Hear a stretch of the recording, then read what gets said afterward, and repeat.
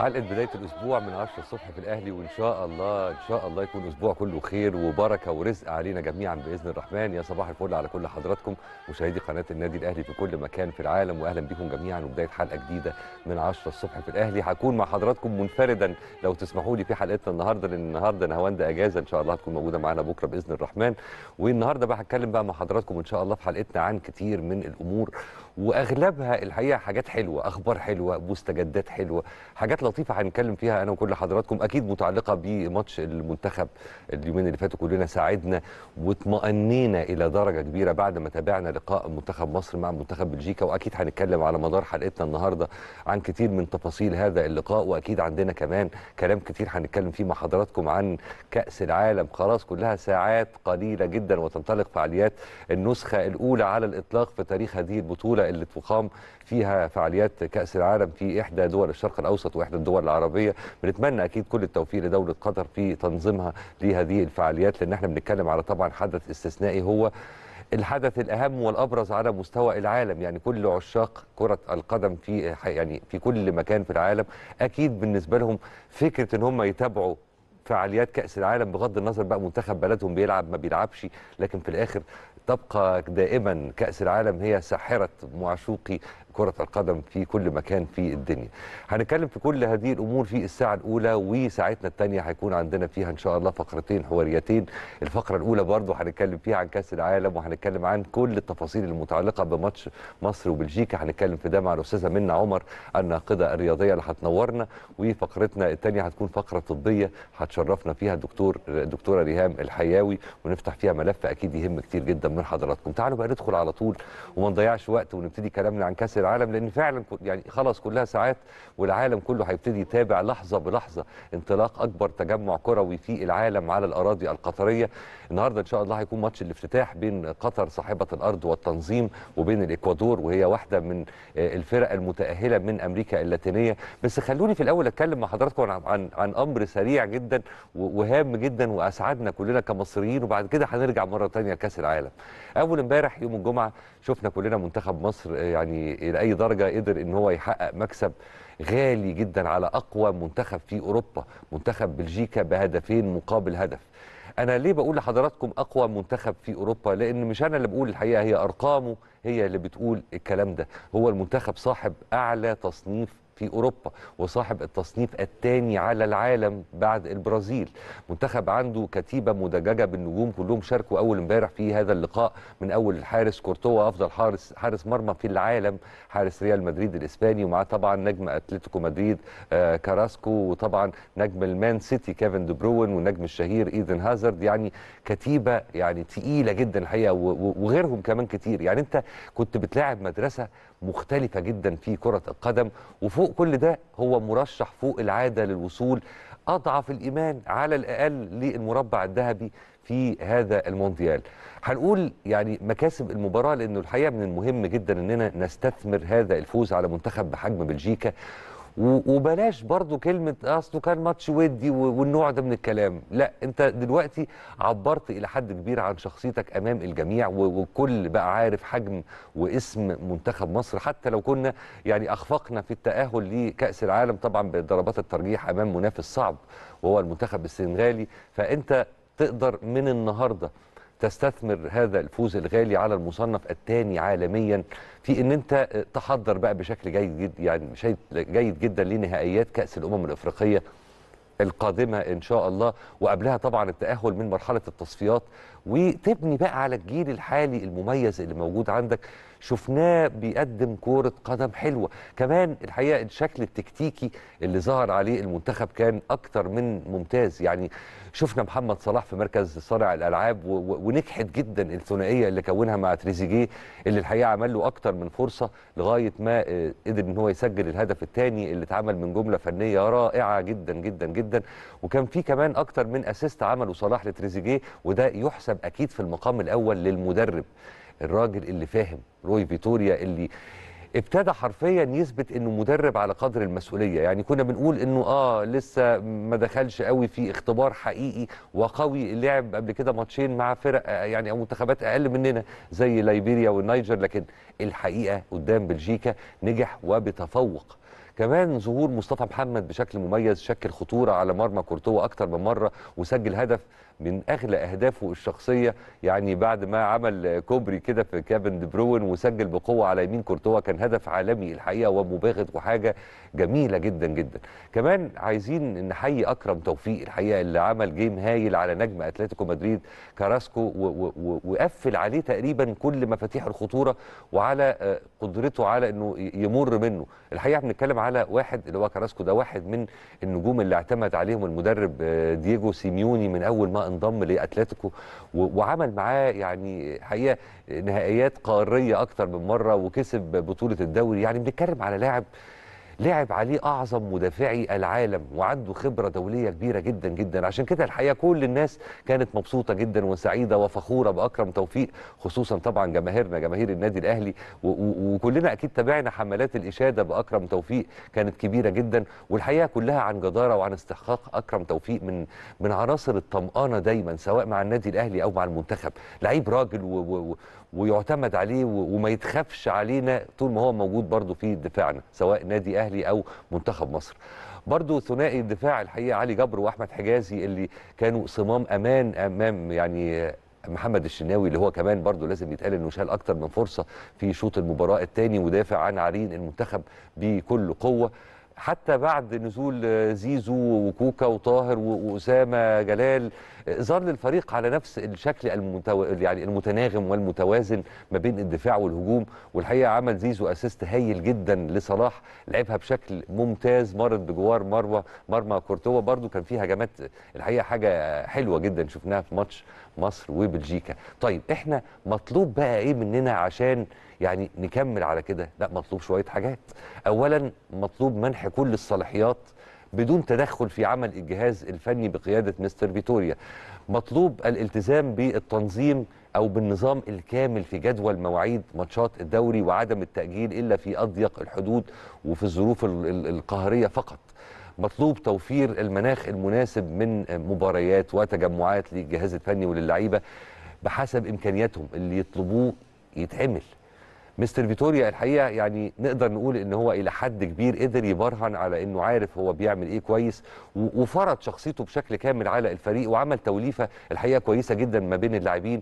من أعمار مختلفة ودي كانت برضو من عناصر القوة وأفتكر إننا مع دخولنا إن شاء الله عام 2023 وكأس الأمم الإفريقية اللي جاية أكيد إن شاء الله هنكون من أوائل المرشحين لهذا اللقب بإذن الله.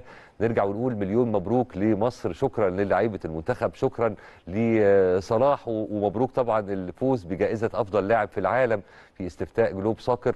شكرا مستر فيتوريا وطبعا لازم نشكر جماهير كرة القدم المصرية اللي حضرت المباراة في الكويت والحقيقة وعملت صورة حضارية وفنية حاجة ولا أروع من كده. المشجع المصري دي ليه خصوصية شديدة جدا وعنده خفة يعني دم وعنده سرعة رد فعل وسرعة بديهة. لا سمات المصريين بشكل عام بطبيعة الحال بتتجلى بقى في المدرجات. ويا سلام لما تكون المدرجات دي إحنا قاعدين فيها عشان نحضر كمان لقاء للمنتخب. هنا بقى كل معاني الوطنية بت- بتتجلى فعلا في هذه اللحظات لدرجة إن إحنا في أوقات كتيرة ما بنفتكرش إحنا إلى أي درجة بنحب البلد دي غير وإحنا بنتابع ماتش لمنتخب مصر. فالحقيقة يعني إن شاء الله اللي جاي يكون أحسن بالنسبة للمنتخب. نروح بقى للحدث العالمي الأبرز والأهم النهارده إن شاء الله ماتش الافتتاح بين قطر والإكوادور وأكيد هيكون لينا كلام كتير عنه بس عايزين في البداية نتكلم عن أبرز آه، وأهم ال- ال- ال- السمات المميزة للنسخة دي من المونديال. أنا بكلمكم عن المونديال الحالي. أول مرة يقام المونديال في دولة عربية وأول مرة تقنية التسلل هتكون شبه آلية بشكل كامل. أول نسخة آه، تقام في منتصف الموسم يعني في أجواء شبه شتوية ومش ده المعتاد وحضور آه، أربع مباريات في اليوم الواحد. ده برضو كان غير مسبوق. هيكون موجود تقنية آه، تبريد الملاعب ودي حاجة أول مرة هنشوفها وطبعا أكيد هتلتصق دايما بقطر كأول دولة تستخدم هذا التكنيك في فعاليات كأس العالم. أول مرة هنشوف مشاركة حكام من السيدات في هذه البطولة بجانب زيادة عدد التبديلات إضافة كمان لوجود منصة لضعاف البصر ودي نقطة في منتهى الجمال الحقيقة. أفتكر كمان إن تصريحات آه، جياني إنفانتينو رئيس الاتحاد الدولي امبارح كانت صارمة جدا في بعض الأمور اللي قننتها قطر واللي آه، يعني الحقيقة برضو أثنى عليها وعلى التنظيم الجيد وعلى اتباع إرشادات الدولة المنظمة وعمل ستريس الحقيقة على الجزئيه دي من الكلام لأن كان في يعني حملات الفترة الأخيرة وشوية اعتراضات من فئات معينة من الجمهور. حضراتكم أكيد تابعتوا كويس اللي كان بيتقال فيما يتعلق بمسألة الخمور فيما يتعلق بمساله آه ميول البعض من جماهير دول العالم المختلفة اللي ممكن تكون حاضرة في هذا يعني ال- ال- المونديال. وال- والحقيقة كان كان الكل صارم في هذا الإطار المسؤولين عن الحكومة القطرية المسؤولين عن التنظيم. آه، حتى إنفانتينو هو شخصيا كمان الحقيقة يعني اتك شوية على تفصيلة احترام عادات وتقاليد الدولة المضيفة والمستضيفة للفعاليات. حاجة كويسة وأكيد كلنا بنتمنى إن ما يكونش في أي مشاكل على أي صعيد من الأصعدة ويهمنا إن قطر تنجح في تنظيم هذا المونديال. الحقيقة أكيد حاجة هتخلينا كلنا كعرب نشعر بالفخر. الحقيقة كل الأمور كمان بتقول إنه هيكون أكيد مونديال مميز جدا. في أمور كتيرة يعني آه، الحقيقة يعني بتقول كده. فأكيد بتمنى لكل حضراتكم آه، متابعة ممتعة إن شاء الله للفعاليات آه، في هذه النسخة من المونديال. قطر طبعا الفريق العنابي هيلعب مع الإكوادور بمنتخب بيضم squad هايل جدا. وكمان برضو لازم لو رحنا على الجانب الآخر هنلاقي إن منتخب الإكوادور هو كمان معظم لاعبيه في دوريات أمريكا اللاتينية وأمريكا الشمالية سواء في المكسيك أو الأرجنتين. يعني منتخب قوي وبيتميز بكرة قدم جميلة. حتى لو ما كانش عنده محترفين نجوم في أوروبا باستثناء ثنائي يعني آه، نادي برايتون الإنجليزي بنتمنى كل التوفيق لمنتخب قطر وبنتمنى لحضراتكم متابعة ومشاهدة شيقة إن شاء الله وأكيد إحنا يوميا في 10 الصبح في الأهلي هنتابع مع حضراتكم أول بأول كل المستجدات ونتائج كل المباريات إن شاء الله نسعد كلنا بهذا الأمر بإذن الله. طيب هل نكمل كلامنا ولا نعمل إيه يا حضرات؟ نكمل كلامنا نكمل كلامنا الحقيقة ال- ال- ال- النسخة دي الحقيقة ناس كتير قوي متوقعة إن هي هتكون نسخة مبهرة إلى حد كبير ولازم طبعا لو خدنا في الاعتبار القدرات المالية والإمكانيات المادية للدولة المضيفة إن شاء الله تنعكس بشكل ايجابي يعني إيجابي يثير إعجاب العالم كله. فرصة عظيمة جدا لإلقاء الضوء على الشرق الأوسط وعلى عالمنا العربي وعلى قدرتنا كعالم عربي على تنظيم فعاليات أكبر يعني فعالية كروية في العالم الحدث الأهم والأبرز واللي كل عشاق كرة القدم وأنظار الدول بالكامل بتتجه أكيد بطبيعة الحال الدولة المستضيفة لهذا المونديال. ال- المونديال ونجومه امبارح الحقيقة نشر نجم البرتغال كريستيانو رونالدو عبر حساباته المختلفة على مواقع التواصل ال- الاجتماعي. آه، صورة بتجمعه مع النجم الأرجنتيني ليونيل ميسي وهم بيتنافسوا في game كده في لعبة الشطرنج. ده كان ضمن إعلان خاص بمونديال 2022 وبالمناسبة هم الاثنين هيخوضوا هذا المونديال كمونديال أخير لكل واحد منهم في مسيرته الكروية الكبيرة والحافلة بالنجاحات. أكيد كل واحد منهم بيطمح إنه يحقق اللقب الأغلى وال- والأكبر في كرة القدم قبل ما ينهي مشواره الشخصي في هذا العالم الساحر. طبعا كريستيانو رونالدو آه، بيتصدر قائمة منتخب البرتغال في كأس العالم اللي بينافس ضمن آه، المجموعة الثامنة مع كوريا الجنوبية آه، ومعاهم غانا وكمان هيكون معاهم أوروجواي لو أنا مش غلطان. بينما بيقود ليونيل ميسي قائمة منتخب الأرجنتين ضمن المجموعة الثالثة مع السعودية وبولندا والمكسيك المجموعتين هتكون فيهم ماتشات ضرب نار وتقطيع بالمعنى الحرفي يا حضرات طيب تعالوا بقى نروح لمجلس إدارة النادي الأهلي برئاسة الكابتن محمود الخطيب اللي آه، قاموا يعني ب- بجولة تفقدية بالأمس بفرع النادي بالتجمع الخامس تمهيدا لافتتاحه خلال الفترة المقبلة إن شاء الله ومتابعة كافة التجهيزات الخاصة بالفرع سواء فيما يتعلق بالبنية التحتية أو المرافق أو الملاعب أو أماكن جلوس الأعضاء ومنطقة آه، لعب الأطفال وكمان الأثاث الخاص ببعض المباني الإدارية. استمع كابتن محمود الخطيب في شرح مفصل من المهندس سامح علي كامل المستشار الهندسي لمجلس الإدارة والمهندس محمد عثمان رئيس مجلس إدارة شركة الأهرام للهندسة والمقاولات وهي شركة المنفذة للمشروع من خلال الهيئة الهندسية للقوات المسلحة. استمع يعني وتحدثوا عن ال ال الانشاءات داخل النادي سواء الم- الملاعب أو أماكن جلوس الأعضاء والمبنى الإداري والمبنى آه، الاجتماعي ومبنى الأكاديمية وغرف الملابس للفرق الرياضية المختلفة وكافة النواحي ال- الخدمية للأعضاء. والحقيقة دي دايما طول عمرها حاجة بتميز كل فروع النادي الأهلي أي كبيرة أو صغيرة تهم أصغر عضو في النادي الأهلي. الحقيقة دايما هي محط اهتمام القائمين على مجلس الإدارة. كمان على صعيد مختلف توج أحمد هشام لاعب المنتخب لسلاح آه للسلاح ببرونزية كأس العالم لسلاح السيف للشباب تحت سن 20 سنة اللي بتستضيفها دولة تونس الشقيقة. خسر هشام في نصف النهائي أمام لاعب أوزبكستان بنتيجة 15 9 ليضمن تحقيق الميدالية البرونزية. وكان هشام كان تأهل إلى الدور نصف النهائي بعد تغلبه على الروماني المنافس ليه بنتيجة 15 11 حاجة حلوة جدا إن شبابنا الصغيرين في أعمار يعني لسه واعدين وبينافسوا على مستوى العالم وبيحققوا ألقاب يعني بطولة عالم كأس عالم. دي حاجة حلوة جدا يا حضرات وحاجة تطمنا كده على اللي جاي. وحاجة تورينا إن اللي كان حاصل في دنيا الرياضة المصرية في الفترة الأخيرة ما إحنا برضو ما نقدرش ننكر إن مؤخرا حصل يعني أقرب تشبيه للي أنا عايز أوصله لحضراتكم وكأننا رمينا طوبة في المية الراكدة. بقينا نشوف حركة بقينا نشوف مستجدات بقينا نشوف يعني منشآت بقينا نشوف اهتمام ملحوظ بالبنية التحتية الرياضية في مصر بقينا نشوف تنظيم فائق ورائع اللي مصر بتنظمه لمختلف الرياضات ويعني حاجة حاجة حلوة جدا نبني عليها وإن شاء الله اللي جاي كمان هيكون أحلى من كده بكتير. طيب بالنسبة بقى للجو بشكل عام وحتى الطقس المتوقعة خلال الأيام القادمة إن شاء الله الأسبوع اللي إحنا فيه ده هتكون عاملة إزاي؟ ده اللي هنعرف عنه من خلال دكتورة منار غانم عضو المكتب الإعلامي بالهيئة العامة للأرصاد الجوية. يا دكتورة منار صباح الفل على حضرتك واهلا بيكي. بتنورينا دايما في 10 الصبح في الأهلي. صباح الفل على حضرتك أستاذ كريم. ربنا يخليك يا رب. تسلم. صباح الخير على كل السنة المشاهدين. صباح الفل على حضرتك يا فندم. يا ترى من المتوقع إن وضع الجو هيكون عامل إزاي الأسبوع ده إن شاء الله؟ يمكن إحنا خلال هذه الأيام بنشهد استقرار في الأحوال الجوية، ارتفاعات طفيفة جدا في درجات الحرارة خاصة فترات النهار، العظمى على القاهرة الكبرى بتتراوح ما بين ال 27 وال 26 درجة مئوية، ده هيستمر معانا لمنتصف الأسبوع إن شاء الله. الظاهرة الجوية اللي تكون مؤثره هي الشبورة المائية اللي بتظهر دايما في الصباح الباكر والساعات المتأخرة من الليل على أغلب الطرق الزراعية والسريعة والقريبة من المسطحات المائية وبتؤدي لانخفاض طفيف في الرؤية الأفقية. الأجواء فترات النهار فيها زيادة لفترات سطوع أشعة الشمس فإحنا بنحس بالأجواء المائلة للحرارة. فترات النهار فترات الليل خاصة مع غياب أشعة الشمس والساعات المتأخرة من الليل والصباح الباكر. الأجواء بتكون أجواء مائلة للبرودة على كافة أنحاء الجمهورية. صحيح. في فرق كبير بين درجة الحرارة فترة النهار وفترة الليل بيوصل ل 10 و12 درجة مئوية في بعض المناطق. لكن من يوم الثلاث هتبدأ التوزيعات الضغطية تختلف معانا نوعا ما. تبدأ تدريجيا مع يوم الثلاث والأربع درجات الحرارة تنخفض تعود للمعدلات الطبيعية مع نهاية الأسبوع. هيكون في انخفاض في درجات الحرارة. هنبدأ نشعر بفترات النهار وأيضا فترات الليل مع عودة كمان فرص سقوط الأمطار اللي هتبقى موجودة بشكل كبير في أقصى جنوب البلاد عند حلايب وشلاتين وبعض المناطق من سواحلنا الشمالية. تمام يعني ابتداء من يوم الثلاثاء والاربعاء الجايين إن شاء الله هنبتدي ندخل شوية شوية في الأجواء الشتوية.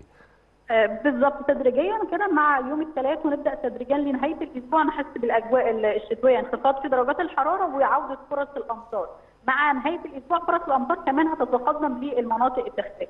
طيب رجوعا بقى للموضوع اللي بنتكلم فيه كلنا العالم كله بيتكلم فيه الحقيقة طول الفترة الأخيرة وتزامنا طبعا مع كوب 27 اللي انتهت فعالياته وفكره التغيرات المناخية.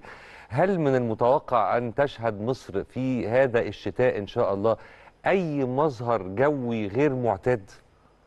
طبعا وارد جدا خاصة عنف الظواهر الجوية. ده أكيد ممكن نشهده في فصل الشتاء ونهايات فصل الخريف. نوبات الطقس الجامحة اللي بدأنا نشهدها في عنف حالات عدم الاستقرار يعني زيادة في كميات الأمطار اللي بدأنا نشوفه في بعض الحالات الجوية. عنف الظواهر الجوية ده ممكن نشهده أكيد في نهايات الخريف بداية فصل الشتاء.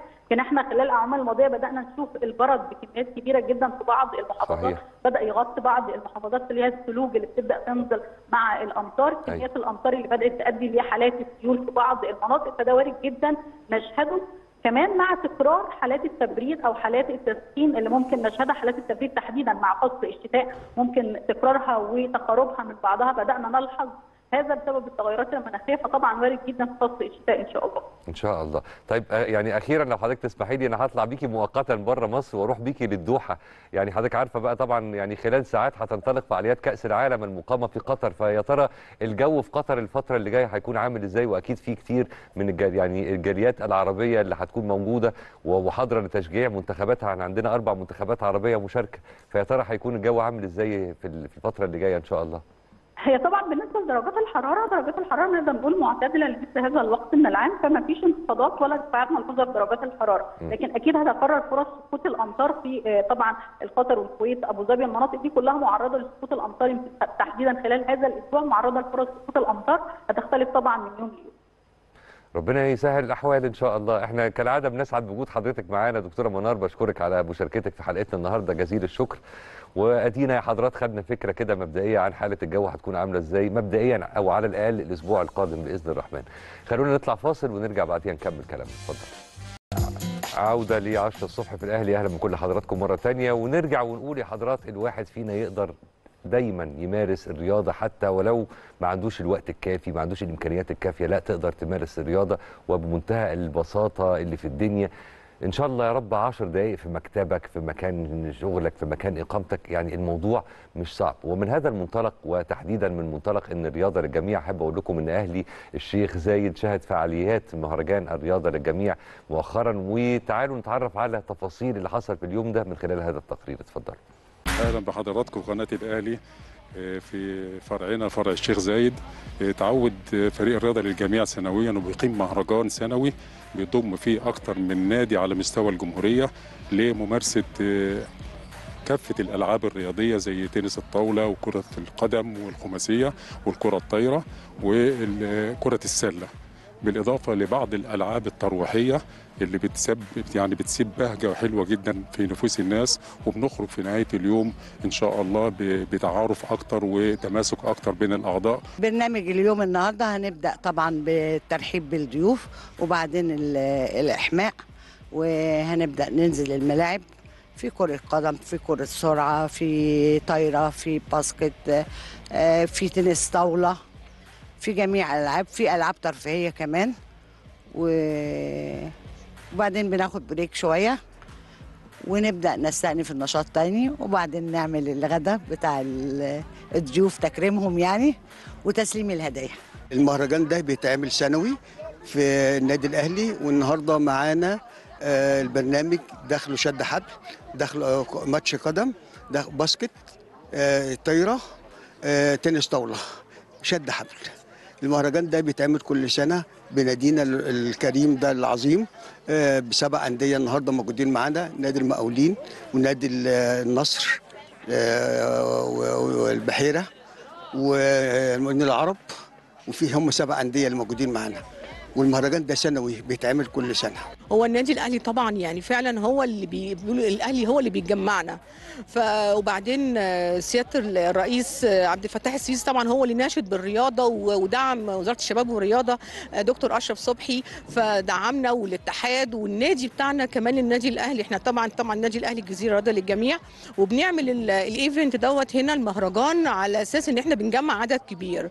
فده طبعا حاجة بتبقى كويسة جدا إن يبقى في كمان دعم. أما نلاقي اللي حوالينا بيدونا الدعم فإحنا. بيشجعنا على الرياضة وإن إحنا نحاول إن إحنا كل الطاقة بتاعتنا المبذولة بنطلعها وبنفرغها في حاجة مفيدة. والله هم جم آه، معايا ناس آه، أول مرة يجوا النادي الأهلي. سعداء جدا مبسوطين جدا مبهورين بال بال بالإنشاءات الجميلة وال والطفرة الإنشائية الجميلة في ال- مقر الشيخ زايد. وإحنا سعداء بوجودنا في النادي الأهلي وده حاجة مش جديدة علينا. إحنا متعودين النادي الاهلي دا- دايما بيستقبلنا احسن استقبال.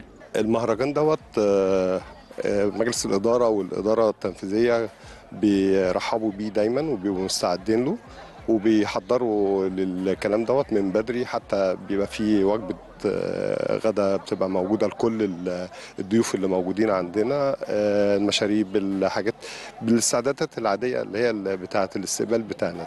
ده غير بقى اللي إحنا بنبقى في قمة الطوارئ بقى بالنسبة لنا عشان دولت بقى ناس إخواننا كبار آه، في السن شباب آه، عايزين يلعبوا عايزين بنحضر لهم خدمة طبية وبنحضر لهم حد من الجيم وحد من الصالات بحيث ان لو في أي حاجة نقدر نعملها لهم بنبقى موجودين. وبيبقى استعدادنا ليهم اللي إحنا بنرحب بيهم وبنشيلهم فوق دماغنا كلهم يعني. ودي طبعا طبع أسرة الأهلي كله اللي إحنا بنتعامل أسرة يعني. طيب خلونا بقى حضرات نتعرف مع بعض على آخر الأخبار وآخر المستجدات في النادي الأهلي وفرقه المختلفة وفروعه المختلفة من خلال زميلتنا العزيزة نورهان طمان. نورهان موجودة دلوقتي في مقر النادي الأهلي بالجزيرة وجاهزة عشان تعرفنا كل المستجدات. صباح الفل عليك اتفضلي يا نورهان. يا صباح الفل يا كريم صباح الفل على كل مشاهدي قناة النادي الأهلي في كل مكان. زي ما قلت إحنا هنا من مقر النادي الرئيسي بالجزيرة. بنطلعكم دايما على أبرز أخبار آه، الفريق الأول طبعا لكرة القدم وباقي الأنشطة المختلفة والأجواء كمان في النادي. يمكن آه، في الصباح الباكر زي ما عودونا آه، العاملين بالنادي بيستقبلوا الأعضاء على أكمل وجه. في الساعات الأولى يمكن مفيش آه، لسه حتى الآن حضور بصورة كبيرة. ولكن من المتوقع إنه يكون طبعا في حضور في في منتصف اليوم النهارده لمتابعة طبعا آه، الافتتاح آه، ومباراه الافتتاح في طبعا كأس العالم قطر 2022 آه، كمان خلينا نقول لكم إنه يمكن النهارده تدريبات الفريق الأول آه، لكرة القدم آه، في راحة آه، بعد طبعا ما اجريت أمس وعلى أن يعود اللاعبين مرة أخرى غدا. آه، يمكن امبارح كمان آه، يمكن نفكركم إنه مستر كولر آه، يعني كان آه، بي- بي- بيشرف على عودة محمود متولي مرة أخرى وبرنامج التاهيلي للاعب بعد تعرضه لإصابة في معسكر المنتخب.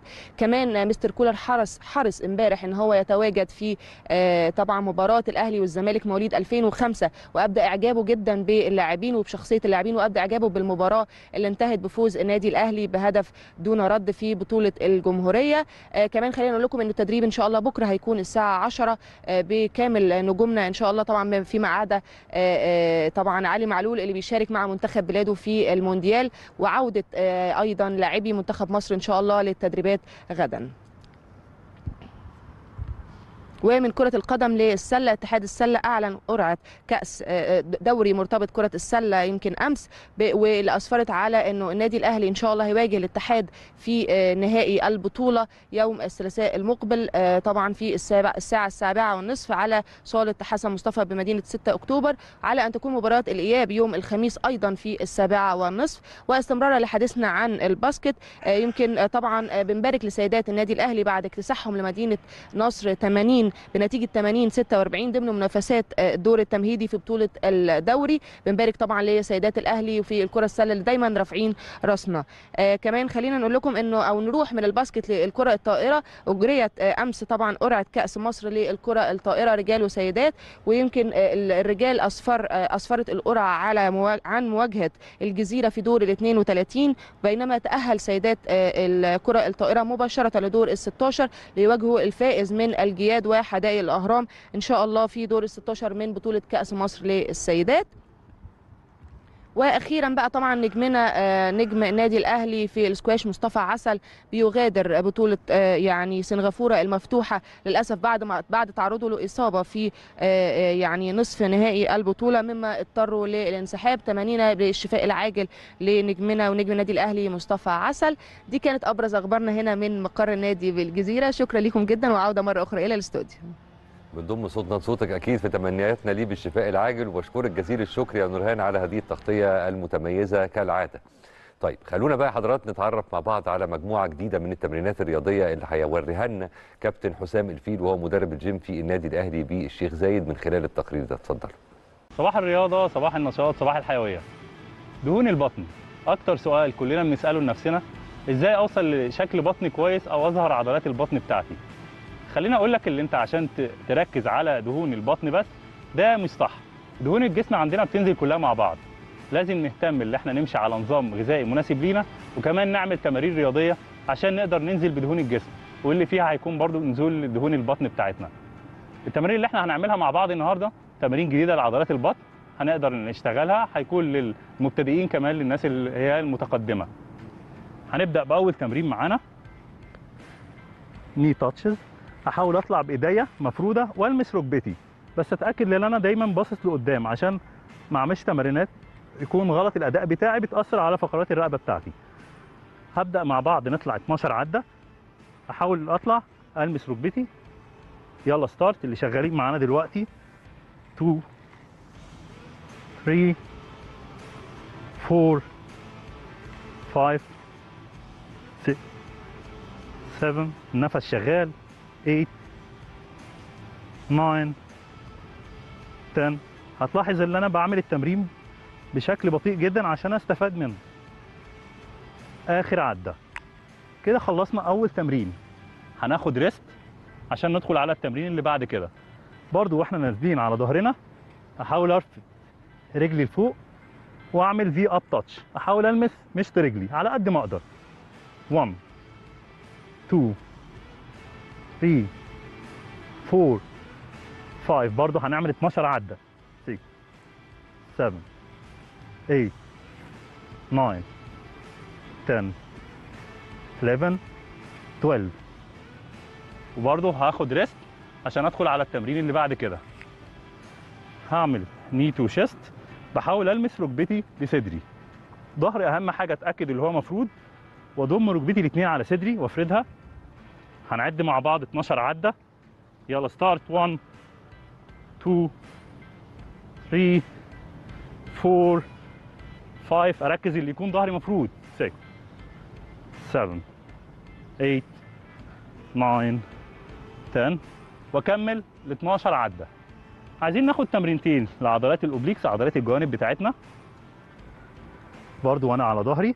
هعمل heel touches أحاول ألمس كعب رجلي بدال اتنين. يمين وشمال هعمل side و side هشتغل 10 عدات يلا start 1 2 3 4 5 6 7 8 9 10 واخد rest هدخل تمرين كمان لعضلات ال obliques هعمل side plank بس with hip raise بحرك فيه وسطي. أتأكد إن أنا ال position بتاعي كله على line واحد من أول الرجلين لغاية كتفي إيدي في وسطي ببدأ أنزل بوسطي وأطلع. هعمل 10 عدات على كل جنب.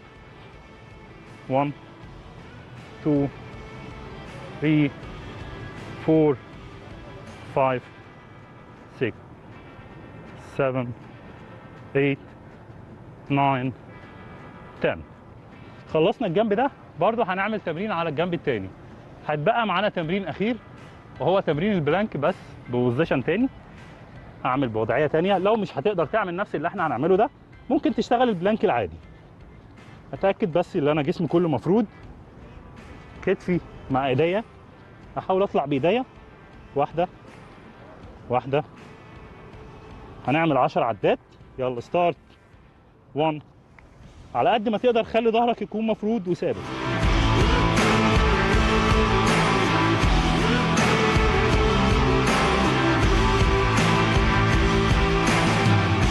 آخر عدة.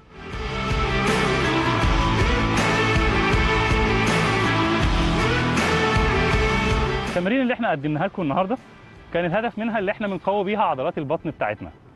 النصيحة اللي إحنا هنقدمها لكم في نهاية الحلقة انت إزاي توصل لشكل بطن كويس وتنزل نسبة الدهون اللي فيه؟ لازم تهتم بنظامك الغذائي. نظام غذائي يكون مناسب ليك انت يكون على حسب جسمك يكون على حسب وزنك على حسب نشاطك اليومي. كمان اللي إحنا نهتم باللي إحنا ناخد الخضروات والفواكه بشكل مستمر على مدار اليوم بتاعنا. كمان نحاول ان إحنا نشرب مية كتير على مدار اليوم وده هيساعدك في نزول الوزن كمان. تبدل الفاكهة تبدل العصاير اللي بيكون فيها سكر كتير بفاكهة عشان تاخد كل القيم الغذائية اللي فيها. لو طبقنا الحاجات اللي إحنا بنقول عليها دي والتمارين كمان هتلاقي نفسك بتنزل بشكل صحي ما ياثرش على الهرمونات بتاعتك وما ياثرش على وزنك. أتمنى النصائح اللي إحنا قدمناها لكم وكمان التمارين الرياضية اللي إحنا قدمناها لكم النهارده تكونوا استفدتوا منها. ونشوفكم في حلقة تانية جديدة. أتمنى يكون التقرير ده مفيد للكم الأكبر من حضراتكم. طيب خلونا نروح فاصل سريع ونرجع بعدين نكمل الكلام. اتفضل. يا أهلا بيكم مرة تانية عودة من جديد ل 10 الصبح في الأهلي وأولى فقراتنا الحوارية اللي منورانا فيها الناقدة الرياضية الأستاذة منى عمر وعندنا حواديت كتير هنتكلم معاها فيها. يا صباح الفل عليك. صباح النور عليك يا إيه؟ كريم كله تمام؟ صباح المونديال بقى بقى أنت هتلاقيني بسابق الزمن عشان أنا عندي ملفات كتير قوي عايز أفتحها معاكي في حلقتنا النهارده. وأستأذنك تعالي نبتدي من المنتخب ولقاء مصر وبلجيكا. اللقاء الودي اللي انتهى بفوز مصر 2-1 وماتش ناس كتير قوي اطمنت بموجبه. فهل نفس الطمأنينة تسللت ليكي ولا انت ليكي وجهة نظر تانية؟ لا دي حقيقة طبعا. المنتخب أدى أداء جيد جدا في في في الودي في ودية بلجيكا. صراحة يعتبر أداء غير متوقع. الناس كلنا تقريبا اتفاجئنا بتماسك عناصر المنتخب. بنبدأ بال- بالتسجيل. لا ومش مش مش مش تسجيل عادي. لا آه يعني عالمية. آه بالظبط جوال كده. حلو قوي جدا جدا. ال- الهدف الأول الهدف الهدف أحلى وأحلى. بالظبط. وبعدين ال ال الهدف الثاني كمان ال- ال- الترقيصة لكيفن. دي بروينا يعني دي كانت آه، وكوبري عالمي. أيوه بالظبط كده. كانت عالمية. ال- الهدف في تيبو كورتوا آه، آه، حارس آه، ريال مدريد متوج بدوري أبطال أوروبا. فلا مباراة كانت تقيلة جدا. منتخبنا كان متماسك إلى حد كبير. ادى مباراة رائعة. الناس بعد بعد المباراة اطمنت. لأن كان الأغلب قبل قبل المباراة كده آه، ودي طبعا حاجة تزعل إن إحنا نقولها يعني. بس لو حتى أنت بتدردش مع حد زميلك كده إيه بقى يا عم هنشيل كام النهارده؟ آه، بلجيكا. عاي- عايز أقول لك عارفة إيه كمان يزعل؟ وإن كان أنت ما غلطتيش فيه ولو للحظة الحقيقة. بس فكرة إن كلنا اتفاجئنا ب- ب- بتماسك المنتخب. يعني إحنا واصلين لمرحلة إن مجرد إن إحنا نشوف منتخبنا متماسك دي أملة. دي هي- حاجة تزعل برضه هي هي هي عشان حصل تخبط كتير الفترة الأخيرة يا كريم سواء آه، آه، تغييرات آه، إدارية تغييرات مجالس اتحاد الكورة طب. فكل ده لازم يعمل آه، آه، عدم عدم عدم توازن يعمل عدم استقرار آه، في في في المنتخب إحنا كنا بنقعد فترات طويلة جدا أساسا المنتخب ما كانش بيعمل آه، معسكرات في صحيح. آه، فترة ال- الأجندة الدولية وده كان سبب من الأسباب الرئيسية اللي يخلي منتخب مصر تصنيف تصنيف تاني في في في في, في قرعة ال- الدور النهائي بتاع تصفيات كأس عالم وده اللي خلانا نضطر إن إحنا نواجه السنغال لأن هي كانت تصنيف أول إحنا كنا تصنيف تاني. ف- فكان في في في في تخبط آه، كبير جدا آه، في ال- الفترات الأخيرة. خلاص بقى صفحة وانتهت خلاص إحنا للأسف خلاص ما صعدناش آه، كأس عالم خسرنا نهائي دوري أبطال آسفة نهائي أمم أفريقيا ب- بركلات الترجيح. خلاص خلينا بقى نبص لل- للي جاي. آه، معانا مدرب فيتوريا مدرب آه، آه، وضحت بصماته جدا جدا من أول من أول مباراة من من اختيارات الل- اللعيبة حتى. شكل ال- المنتخب أو شكل اللعيبة في ال- الملعب. الأداء ال- الروح التجانس كل ده كل ده شفناه في في ودية بلجيكا. ونتمنى بقى إن إحنا نبني عليه.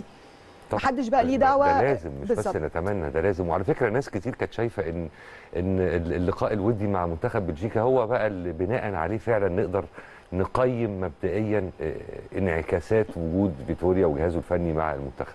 بالظبط دي حقيقة لأن ده يعتبر أول أول مباراة فيها احتكاك آه، قوي مع منتخب آه، تقيل جدا آه، منتخب كمان مش مش مش أفريقي يعني لأ ده طبعاً، منتخب بالظبط كده منتخب أوروبي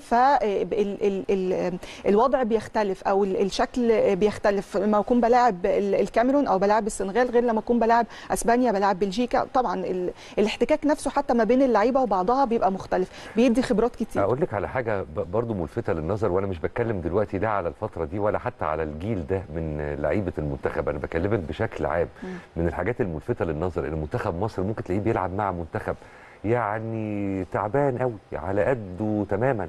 وإحنا تلاقينا إيه بنزك جنب منه. وفي نفس الوقت تلاقي نفس. المنتخب بيلعب منتخب قوي تلاقينا صحصحنا كده وعملنا جيم حلو. هي إيه سر الحكاية دي؟ أعتقد بتبقى ال- ال- التحفيز للعيبة قبل المباراة. آه لما يكون أنا عندي مباراة مهمة جدا مثلا آه آه مع ان مع إن بلجيكا كانت مباراة ودية أيوة. ولكن هي عشان اسم المنتخب. يعني أنا لو بلعب مباراة ودية دولية مثلا مع منتخب مثلا زي ليبيريا مثلا يعني أنا مش قصدي طبعا أقل من أي منتخب بس في. بالظبط في فرق في في ال في الخبرات. وأنا نازل معنويا ممكن تلاقي أصلا معظم المصريين ما كانوش يتفرجوا أصلا على المباراة. عادي مباراة منتخب مصر كسب تمام ما كسبش طب خلاص. أيوة. يعني إنما لما آه، آه، ودية مصر وبلجيكا إحنا كنا بنتعامل معاها كأنها مباراة رسمية طبعا. الناس طلعت بعد المباراة بتتحسر إن هي ما وصلتش آه، كأس عالم صحيح. ورجع تاني عارف الايه ال- الانين بتاع إنه طب. ما أنا كان أولى إن أنا على الجرح تاني بالأداء الحلو. اللي عملناه في الماتش ده وعلى. فكرة يقال والله أعلم وإن كان ده طبعا كلام بيبقى social media والواحد ما يقدرش يبقى مالي إيده قوي منه بس يقال والله أعلم إن بعد اللقاء ما انتهى بثواني ابتدت جماهير بلجيكا تقلب الترابيزة على المنتخب بتاعهم وقال لك الله الله إيه اللي إحنا شايفينه ده؟ وما الجماعه بتوعنا هيروحوا يعملوا إيه بقى في كأس العالم لما هم بالمنظر ده في ماتش ودي؟ ف لا مش للدرجات دي. يعني بلجيكا بلجيكا م- في تصنيف فيفا هي رقم آه، رقم اثنين على منتخبات بالظبط رقم اثنين على منتخبات العالم ونزلت اتنين دي لسه مؤخرا. أيوة. يعني قعدت فترة طويلة جدا كانت هي مت- متصدرة ال- التصنيف ال- الشهري لفيفا يعني. آه، يعني أنا وده أصلا غريب مع إن في أسماء منتخبات وأسماء دول ثانية أتقل و و وأعرق و وكل حاجة. هي بيبقى ليها حسابات تانية يا كريم. ال- ال- المنتخبات في فترة FIFA date أو في فترة الأجندة الدولية بيبقوا متفقين مثلا على مباريات آه، مع آه، منتخبات okay. الم- المباريات دي مثلا مباراة بتبقى دولية بس بتخش في الإطار الرسمي. بيبقى ليها نقط.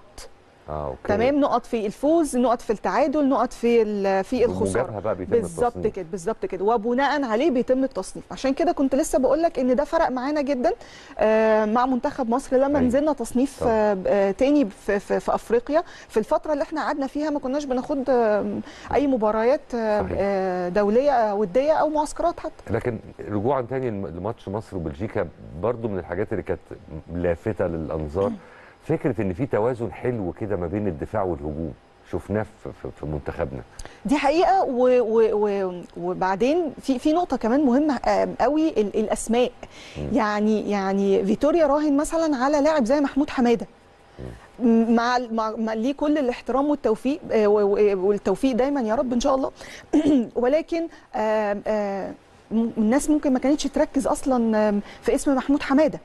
تمام؟ آه لكن مع مع المنتخب وجوده جنب طارق حامد ال- ال- المباراة اللي أداها بشكل رائع رائع رائع آه قدام بلجيكا لا خلاص أنا بقيت عنصر آم، أساسي مع مع مع فيتوريا. آه هو كمدرب ليه بصمة آه، مليون في المية. ما نقدرش إن إحنا ننكر ده. زي ما قلت لك الأهم إن إحنا نبني على على اللي جاي بقى. خلاص دي بداية خلاص إحنا إحنا كجماهير إزاي إيه خطوات ال- البناء في رأيك؟ اولا أنا ما فيش تدخل خالص في ال في ال في عمل ال- ال- المدير الفني. خلاص؟ أو الجهاز الفني يعني لا من قريب ولا من بعيد. ماليش أي تدخل فيه خالص سواء بقى بوجود عناصر مصرية سواء بوجود عناصر أجنبية خلاص هو جاي ليه توليفة معينة أو هو عايز حاجة معينة المفروض إن هي بتتلبى. تمام آه، إحنا عندنا أزمة في في في, في مشكلة ال- الدوري وتلاحم.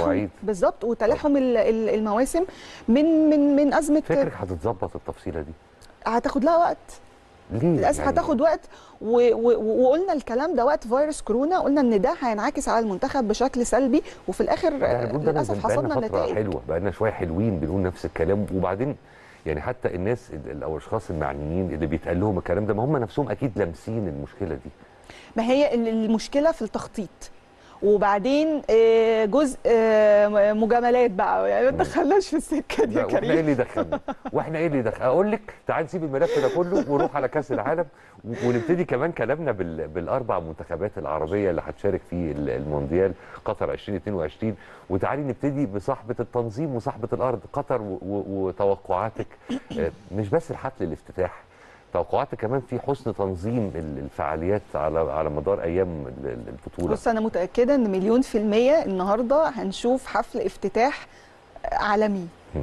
رهيب آه خيالي آه بجد. آه هم الإمكانيات بتفرق برضه آه وهم أكيد. هم عاملين شغل آه، بقالهم فترة طويلة طبعا عاملين شغل آه، آه، جيد جدا عاملين شغل رائع آه، إحنا بنتفرج على ال social media بنشوف ال ال الافتتاح ال fan zone امبارح لل أيوة. للجماهير ال- الحفلات التنظيم نفسه آه، زمايلنا الصحفيين والإعلاميين مركز آه، متكامل آه، مركز إعلامي متكامل آه، متوفر فيه كل الإمكانيات وكل سبل. ال- الراحة علشان أيوة. يقدروا إن هم يغطوا ال- البطولة طبعا ده, ده صحافة العالم كلها هتبقى موجودة. بالظبط أو صحيح. أول مرة كأس العالم ينظم في بلد عربي طبعا فكل العالم ده بجد كل العالم منتظر يشوف البلد العربي دي هتعمل إيه مم. بغض النظر إن ال- ال- الكثيرين يعني في أوروبا للأسف منتظرين ال- السقوط يعني أو منتظرين مين اللي منتظرينه؟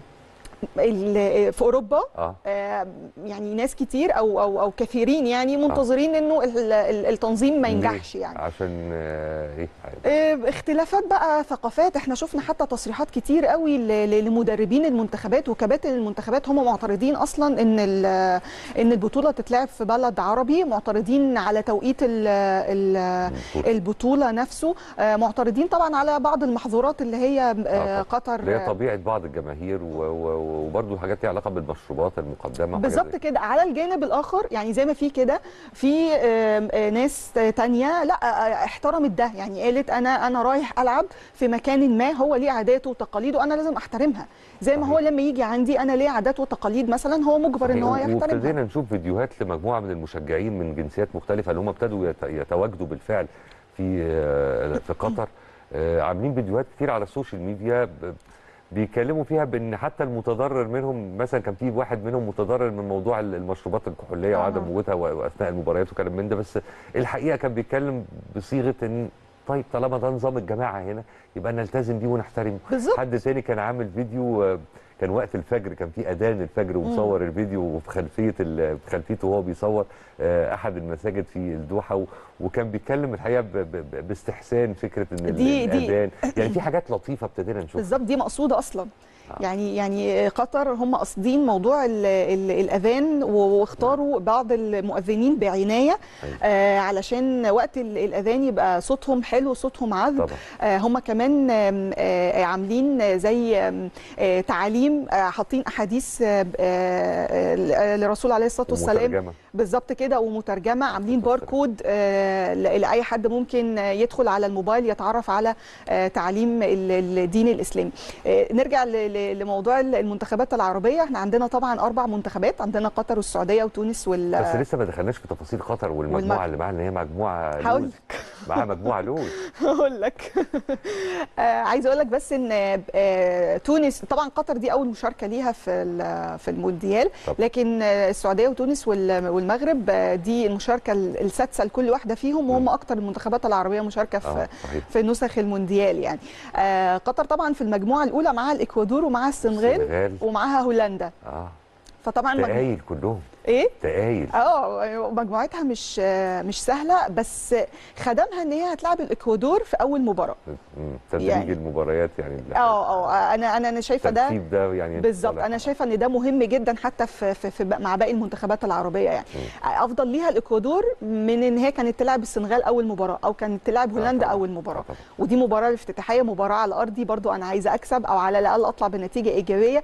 فطبعا هتفرق معاها جدا يعني. لكن فرصها في الصعود إيه بقى؟ فرصها في الصعود صعبة شوية ولو ان ولو إن آه، حظوظ السنغال بعد إصابة ساديو ماني الموضوع اختلف شوية آه، إصابة ماني بكل تأكيد هتأثر معنويا على على الفريق بشكل بشكل سلبي. شفنا آه، كاليدو كولوبالي آه، آه، مدافع آه، آه، المنتخب السنغالي آه، أكد حتى الكلام ده وقال إنه آه، إن إحنا هنلعب المونديال بدون بدون ماني الموضوع مش هيبقى سهل. لكن لكن طبعا علينا إن إحنا نتماسك وإن إحنا نركز وإن إحنا آه، آه، نحاول يعني الفوز في المباريات. بس آه، مش يعني الموضوع مش هيفرق معاهم فنيا بس لا هيفرق معاهم معنويا. ماني هو نجم السنغال ال- الأول. فغيابه طبعا. وعدم وهو القائد كمان. فغيابه وعدم وجوده مش هيبقى أمر سهل على ال- السنغال. في أسماء مهمة قوي مش هتشارك في النسخة دي من المونديال للأسف. يعني في إيه؟ أسماء آه، تقيلة آه، واسماء أسماء مهمة تقيلة. ولاعيبه آه، منتخبات بلادهم معولة عليهم بقدر كبير. يعني برضو ما أعرفش مدى صحة الكلام ده سمعنا ان كريم بنزيما كمان مش هيشارك آه، مع منتخب رسمياً فرنسا. نتيجة الإصابة. آه للأسف. رسميا استبعد للأسف حظه سيء آه، قوي طبعاً. حظه سيء جدا جدا. إنه كمان هو كان غايب عن المونديال اللي فات. هو ما كانش مع ما, ما, ما, ما كانش مع فرنسا في تتويج 2018 بس الغيابات دي هتدي فرصة بقى لكريستيانو رونالدو وميسي إن هم يولعوا الدنيا إن شاء الله. هيبرطعوا في المونديال ده. إن شاء الله. أنا أتمنى أصلا النهائي يبقى البرتغال والأرجنتين. أتمنى. ضرب نار يا منى آه، ضرب نار. وبعدين هيبقى هيبقوا ماتشين في ماتش. يعني ماتش ماتش بين المنتخبين أو وماتش ماتش ما بين فردي. رونالدو وميسي بالظبط. طبعا. بالظبط بالظبط. ف... وناس كتير أكدت إن غالبا ده هيكون المونديال الأخير بالنسبة لهم هم الاثنين للاثنين غالبا آه. فانا أنا نفسي نشوف آه، نهائي بالشكل ده. هيبقى فعلا فعلا هيبقى ده نهائي آه، هم الاثنين يستحقوا ده يكون خير. ختام لمشوارهم الحقيقي. بالظبط. بالظبط طيب بالظبط. تعالي بقى نروح للسعودية. هل السعودية أسعد حظا نسبيا آه، بالمقارنة بقطر فيما يتعلق بأسماء لا خالص السعودية معاها هم- معاها برضه تقايل يعني مع معاها؟ الأرجنتين والمكسيك وبولندا. وبولندا. آه. آه، معاها الأرجنتين. يعني الأرجنتين آه، واحد من المنتخبات المرشحة إن هي. تتوج بالمونديال. طبعا. وللأسف هي أول مباراة ليها آه، هتبقى مع الأرجنتين. أوبا، أوبا، ف... يعني. فمش سهل. عشان كده أنا قلت لك في الأول إن ترتيب المباريات للمنتخ... يعني للمنتخبات العربية هيفرق جدا.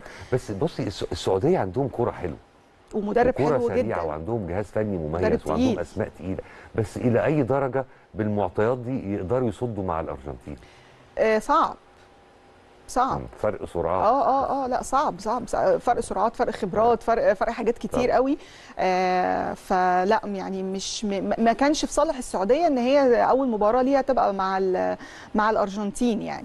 ف بس مدربهم برضو يعني وصل قبل كده كمدير فني آه، أيام ما كان بيدرب المغرب آه، وصل بالظبط. برضو وشارك في كأس عالم قبل كده. بالظبط. آه، النوع ده من ال- الرفايع إنجاز التعبير بتفرق؟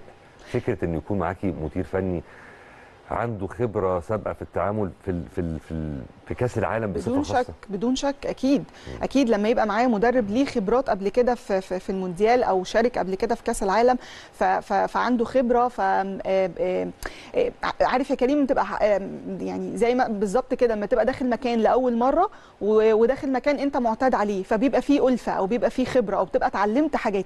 فأكيد أكيد طبعا هيرفي رينار اتعلم من ال- من التجارب اللي ليه قبل كده أكيد هي خبراته دي أكيد هينقلها طبعا لعيبه المنتخب السعودي ولكن ولكن برضو آه، ده, في رأيي أو في وجهة نظري يعني آه، المن- المنتخب ال- السعودي غير المنتخب ال- ال- المغربي أيام ما كان مع رينار لا في في فرق. أعتقد إنه خبرات ومهارات ال- المنتخب المغربي أعلى شوية من ال- المنتخب ال- السعودي. فأعتقد الوضع هيبقى مختلف ما بين هنا وما بين هنا يعني طيب نروح بقى لثالث المشاركات العربية وثالث الدول العربية اللي هتشارك في فعاليات المونديال تونس في المجموعة الرابعة وهيكون معاها برضو معاها أسماء فرنسا. برضو مش هينة معاها. الدنمارك ومعاها فرنسا أستراليا. ومعاها أستراليا مع أستراليا يعني برضو شايفة المنافسة في المجموعة هي طبعا من سوء؟ حظ تونس إن هي وقعت في مجموعة فرنسا حامل ال- اللقب. طبعا. ولكن هنا بقى خدمتها خدمتها قرعة ال- ال- المباريات. هي هتلاعب ترتيب الماتشات. آه فرنسا هتلاعب؟ فرنسا في الآخر. آه أوكي. آه، أعتقد الدنمارك الأول. الدنمارك الأول. أعتقد الدنمارك الأول بعدين أستراليا بس الأكيد فرنسا في في الآخر. فهيبقى عندها فرص. يعني على الرغم إن هي هتلعب مع فرنسا. وبالمناسبة يعني أنا أعتقد برضو إن المجموعة دي هيبقى فيها مفاجأة كبيرة جدا.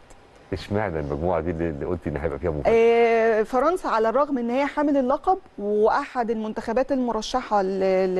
إن هي طبعا تكرر الإنجاز. طبعا. ولكن آه، طبعا زي ما إحنا ما قلنا بعد إصابة كريم بنزيما أعتقد الوضع هيختلف والحسابات هتختلف جدا مع ديدي ديشامب آه، فقدان كريم بنزيما في الوقت ده آه، بفورمته. دي. ضربة قاسمة. بالظبط بفورمته اللي, وصل لها مؤخرا آه، بإنه آه، آه، آه، عنصر خبرة عنصر آه، مهم جدا جدا أعتقد صعب جدا. فرنسا عندها غيابات تانية ولكن كان من السهل إن هو تعويضها آه، نجولو كانتي بول بوجبا كيمبيبي ممكن يبقى في بدائل أخرى.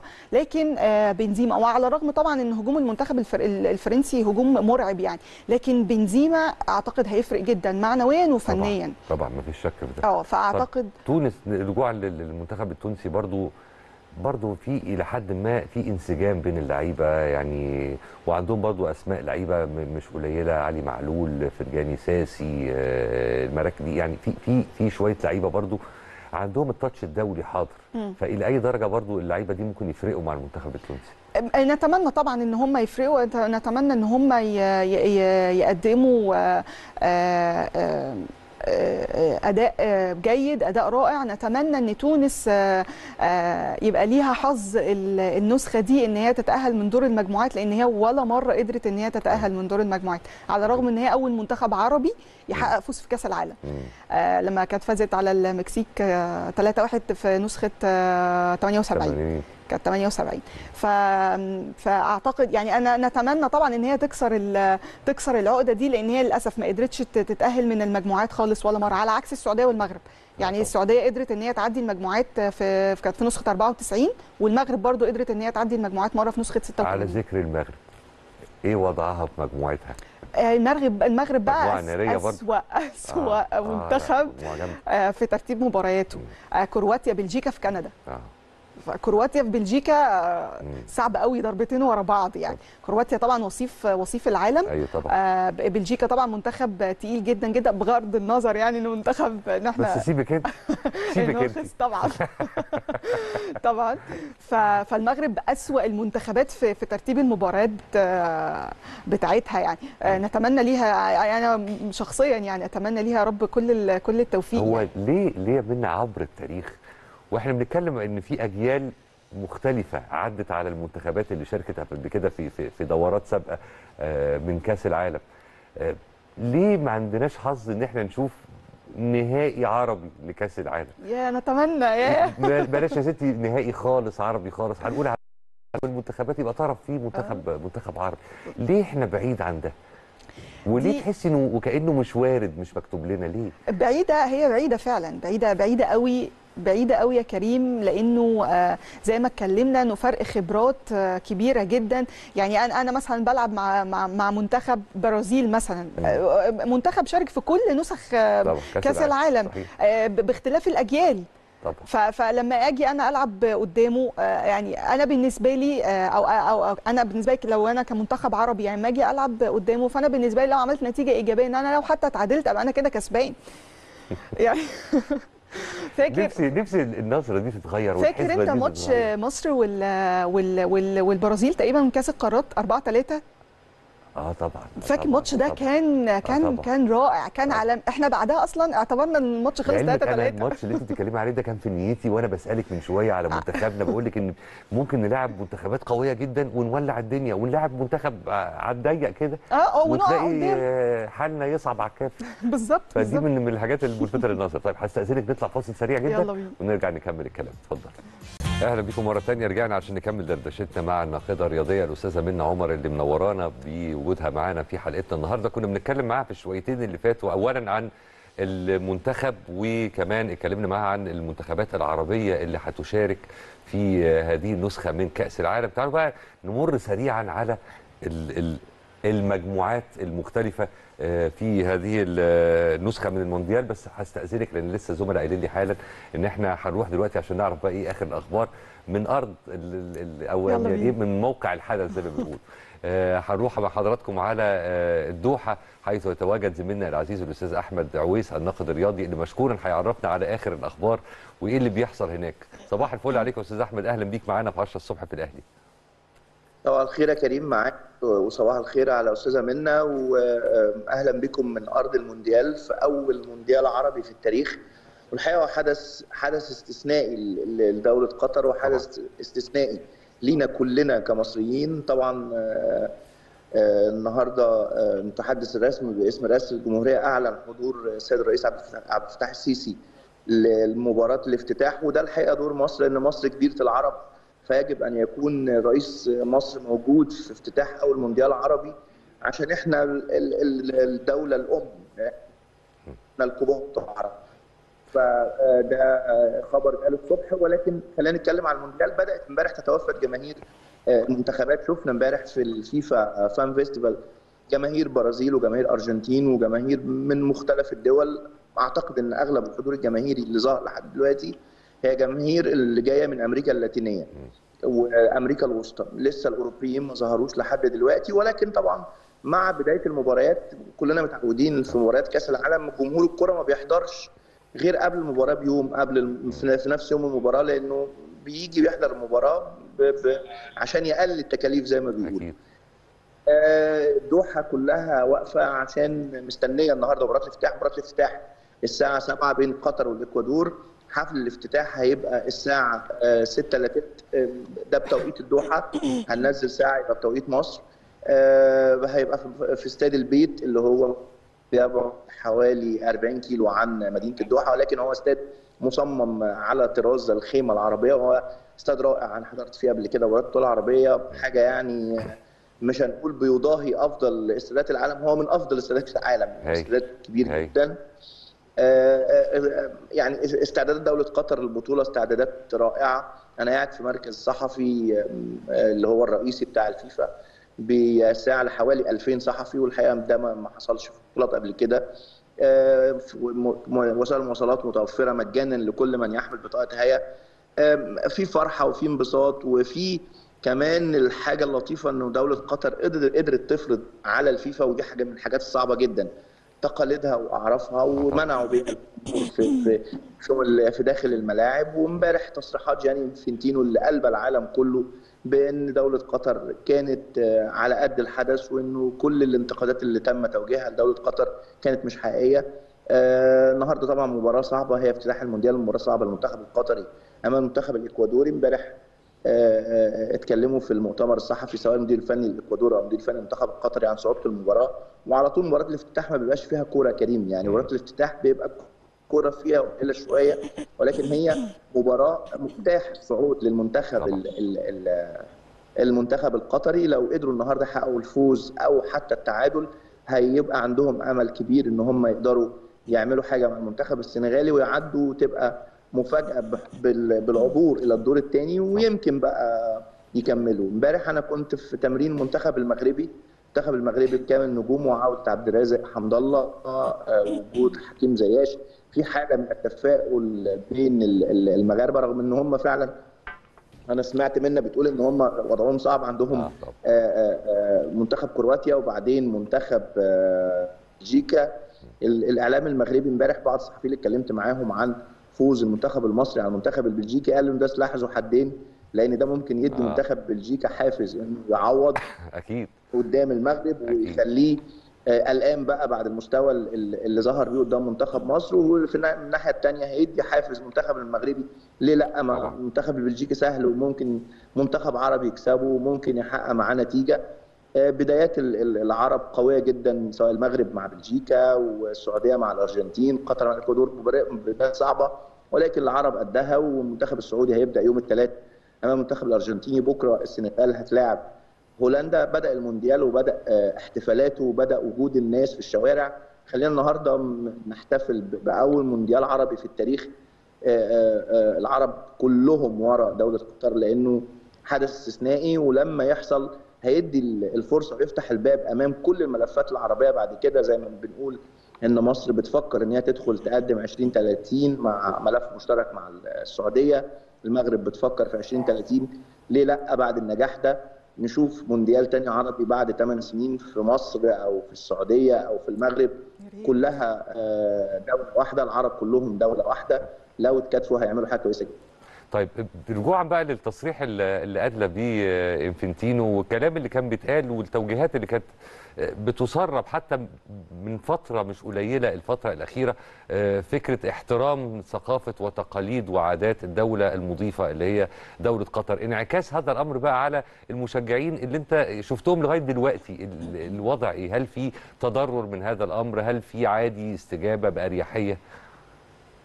هو إنفنتينو امبارح قال قال حاجة حاجة لطيفة جدا في المؤتمر إن إحنا منعنا بيع ال- ال- الكحول في في الملاعب. أي. فانت مش مش يعني بالعربي كده زي ما بيقولوا مش هتموت لو قعدت ثلاث ساعات ما تشربش كحول. في اماكن في أماكن آه، أنا آسف يا كريم في أماكن ولا يهمك. آه، مسموح بيها ببيع الكحول آه، موجودة في في يعني مصرح ليها ولكن أثناء إحنا عارفين في كؤوس العالم قبل كده الملاعب كان فيها بيبقى فيها كحول بيتباع. فهو لو انت عندك منتخبات دول. بعينها يعني في في في منتخبات دول بعينها عندهم مشكلة كبيرة جدا في مسألة ال- ال- الكحول والتواجد ضمن ال- ضمن المشجعين في ال- في ال- في المدرجات. بي- بينتج عندها مشاكل كتير قوي الحقيقة. بس أنا أقدر أستنتج بشكل عام يا أستاذ أحمد إن أنت يعني إلى حد كبير متفائل بتنظيم قطر للفعاليات. كانت الأستاذة منى من شوية بتقول إن ما عندهاش شك إن هيكون حفل الافتتاح مبهر وعالمي بكل ما تحمله الكلمة من معنى. كلنا شفنا حفل افتتاح البطولة العربية اللي اتعملت في نفس التوقيت ده السنة اللي فاتت في قطر وكم الإبهار اللي حصل في حفل الافتتاح وحفل الختام. أعتقد إنه لو لو بطولة العرب كان حفل الافتتاح والختام مبهر بالطريقة دي فكأس العالم هيبقى صحيح. أكثر ابهارا. صحيح. خلينا نقول انه إنه ما يحدث على أرض دولة قطر هو معجزة بكل المقاييس. يعني هي معجزة آه، آه، ان دولة آه، المساحة ال- ال- مساحة الأرض بتاعتها آه، زي دولة قطر عدد السكان مش كبير تقدر تنظم حدث آه، زي تنظيم كأس العالم فالحقيقة دي معجزة وحاجة آه، تتحسب لهم قدروا يشتغلوا كويس على الملف وقدروا يفرضوا كل ما يريدون على الفيفا وعلى الضيوف ده حدث وبعدين هو السؤال يا كريم اللي بيطرح نفسه انت ضيف جاي لي بيتي فالمفروض تلتزم. بعاداتي.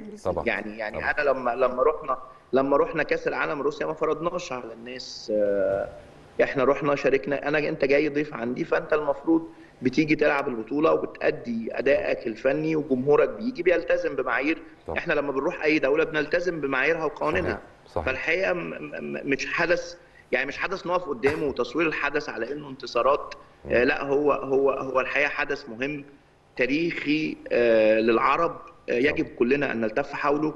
وده ظهر النهارده بحضور كل الرؤساء العرب أو معظمهم الرؤساء والملوك والامراء هيحضروا النهارده عشان يظهر ان العرب قوة واحدة وده دور القوة الناعمة طبعاً، اللي, طبعاً، اللي العرب طبعاً. المفروض يتحركوا فيها لأن كرة القدم قوة اقتصادية وقوة آه، ناعمة ولما تشوف قد إيه الناس امبارح مبسوطة وقد إيه الملايين جايين عشان يتفرجوا على آه، قطع قطعه من الجلد يا كريم زي ما بيقولوا. طبعا هذه القطعه من الجلد هي اللي بتبهر العالم. صحيح. كل الناس جاي اللي بي اللي جاي آه، سفر 20 ساعة واللي جاي سفر 28 سااعه عشان قطعه من الجلد بتدخل الشبكة كلنا بنهيص وننبسط. فأتمنى انه يكون مونديال رائع. ونبقى كلنا مبسوطين وإن شاء الله أبقى معاك كل يوم لنهاية المونديال. تنورنا وتسعدنا بوجودك معانا وبتحليلاتك بقى اللي أكيد هنستمتع بيها إن شاء الله خلال الحلقات اللي جاية. بشكرك على وجودك معانا. جزيل الشكر. كان معانا الأستاذ أحمد عويس الناقد الرياضي من قلب الحدث في الدوحة في قطر. شكرا جزيلا ليك. الكلام حلو. جدا. الكلام حلو وبيقول إن إحنا فعلا بصدد متابعة نسخة استثنائية من كأس العالم. وكلمة استثنائية متحققة من زوايا كتير الحقيقة. بالظبط. دي حقيقة أتفق معاك. آه، وأكتر أكتر شيء آه، استثنائي إن هي في دولة عربية. آه، وأول مرة تحدث في التاريخ. فإن شاء الله بإذن الله هيبقى مونديال عالمي وهيخرج في أفضل صورة بإذن الله. يا رب إن شاء الله. هبتدي بقى سابق الزمن معاك لأن عندنا خمس دقايق بس على نهاية. الفقرة دي وعايزه أقف معاكي عند كذا تفصيلة يعني. آه، مبدئيا كده في المجموعة الثانية إحنا بنتكلم على إنجلترا وإيران وأمريكا وويلز. okay. تمام؟ فهل منتخب مثلا ويلز آه، ليه فرصة للصعود في رأيك؟ آه، قد يكون ليه فرصة للصعود لأنه موجود مع مع المجموعه الثانية فيها إحنا قلنا إنجلترا إيران آه، مين الثالث عشان نسيت إنجلترا وإيران. إنجلترا و- وويلز و...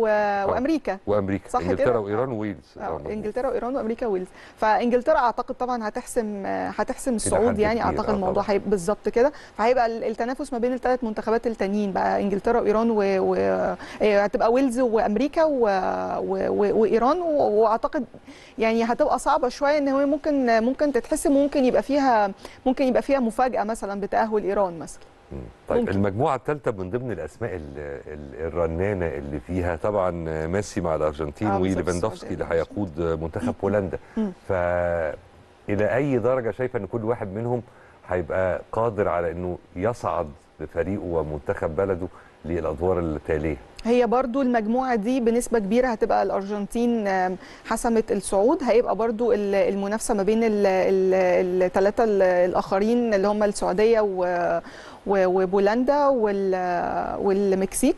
ف يعني نتمنى طبعا إن يبقى المنتخب ال- السعودي هو صاحب بطاقه ال- التأهل الثانية ولو إن الموضوع هيبقى صعب برضو لأن المكسيك فيها عناصر قوية جدا وبولندا برضو فيها عناصر. يعني آه هي أبرز نجومها أو هو يعني ليفا يعتبر هو ال- النجم الأبرز أو النجم الأوحد في منتخب بولندا يعني. ولكن آه، لا ممكن يعني ممكن يخرج من المجموعات ممكن ما يكملش المنتخب البولندي هل وجود لاعب واحد استثنائي زي ليفاندوفسكي مثلا مع منتخب بولندا هل ده كافي؟ يعني مهما كانت درجة استثنائية هذا اللاعب. هل ده كافي ولا لازم يكون الفريق بالكامل استثنائي؟ لا طبعا مش كافي. مفيش مفيش لاعب هيشيل المنتخب لوحده. آه عندنا هالاند في, في أيوه. منتخب ال- النرويج وهو ما قدرش إن هو أيوه، يصعد بمنتخب النرويج لنهائيات كأس العالم. فلا الاعتماد على نجم واحد أو أو أو نجم بعينه أو نجم هو اللي هيشيل المنتخب لا مفيش لاعب بيشيل فريق. مفيش مدرب بيشيل فريق لوحده. مفيش آم، آه، نجم مثلا أو قائد خلاص هو اللي هيشيل ال- ال- الفريق أو هيشيل المنتخب وهو مثلا اللي هي هيقوده لل- للبطولات. هي لعبة جماعية يا كريم مش لعبه مش لعبة فردية. فلازم تكون كل عناصر ال- اللعبة متحدة وتكون متجانسة مع بعضها علشان نقدر آه، آه، نقدم آه، نتائج جيدة. دايما بيبقى في أسماء شبه ثابتة في أي مربع ذهبي لأي نسخة من كأس العالم. لكن برضو الأمر ما يخلاش. ساعات كتير بنتفاجئ بوجود حصان أسود قادم من بعيد تماما وحدش فكر فيه. ولا حد جاب سيرته وتلاقيه وصل. هل هل وارد إن إحنا نشوف حصان أسود في النسخة دي من المونديال؟ أكيد هيحصل. آه، كل يعني كل النسخ أعتقد بيحصل فيها ده. أعتقد النسخة دي هي هيحصل فيها كده. ويعني حصل يعني كان المنتخب الكرواتي في نسخة 2018 ما كانش. حد متخيل إن هو هيوصل لل للنهائي. و و و وكان في تعاطف كبير جدا جدا طبعاً، معاهم. طبعاً. و- وكان عالمي كمان. بالظبط. ومع الدعم كمان رئيسة كرواتيا و- و- و- وإن هي راحت لهم ال- ال- المعسكر المنتخب ودخلت غرفة الملابس وسلمت على اللعيبة. فده عمل آه، آه، تعاطف كبير جدا مع المنتخب ال- الكرواتي. وبعض الناس كانت تتمنى إن كرواتيا هي اللي كانت تتوج بمونديال 2018 يعني طبعا بعد الخسارة يعني. أخيرا أخيرا. هل ممكن نشوف منتخب عربي هو الحصان الأسود؟ ولا دي بعيدة شوية؟ ولا ليه ليه مش بعيدة؟ ليه مش بعيده يعدي المجموعات. دايما كأس هو العالم. عموما امال هيبقى اسمها مفاجأة ليه لو هي دايما كأس العالم صحيح. بيبدأ من دور ال 16 خلينا نستنى المجموعات. أيوة. نشوف الفرق اللي أنت لازم هتصعد. تيجي تنورينا بقى إن شاء الله كمان. الأيام الجاية والأسابيع الجاية. عشان نتكلم معاكي باستفاضة في المستجدات بقى وقتها. إن شاء الله. أنا. بشكرك على وجودك معانا. نورتينا في حلقتنا النهارده يا منى ونشوفك على خير بإذن الله. طيب إحنا هنطلع فاصل سريع جدا يا حضرات ونرجع عشان نستقبل دكتورة ريهام الحياوي اللي هتشرفني وتنورني في تاني وآخر فقراتنا الحوارية. خليكم معايا. يا أهلا بيكم مرة تانية الحقيقة في ناس كتير من اللي بتعاني من السمنة وخصوصا لو كانت سمنة مفرطة وطبعا بطبيعة الحال بيلجأوا لكل الطرق الممكنة والله واللي حتى غير ممكنة عشان يحاولوا بقدر المستطاع إن هم يخسروا الجزء الأكبر من وزنهم. في تقريبا قاسم مشترك يعني من ضمن ال- ال- التعليقات والريفيوز اللي بتتعامل مع الناس دول شبه شبه مشترك بين أغلبهم. فكرة إن أنا آه خسيت في الوزن أي نعم بس أنا حاسس إن أنا ضعيف حاسس بهزال حاسس بضعف حاسس بأرق.